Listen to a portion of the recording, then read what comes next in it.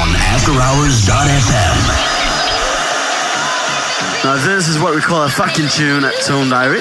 It's Cassius, My Feeling For You, in the Roam L remix.